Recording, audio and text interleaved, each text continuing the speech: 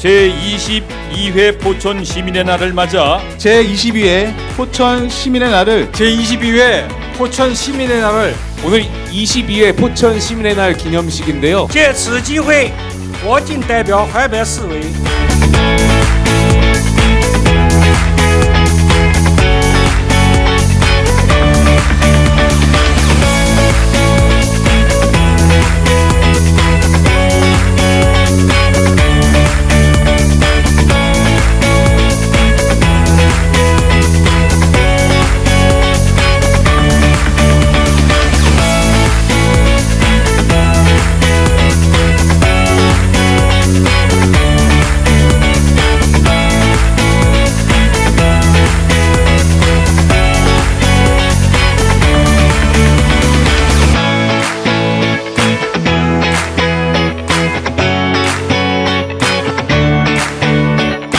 새롭게 통합 브랜드를 제시합니다.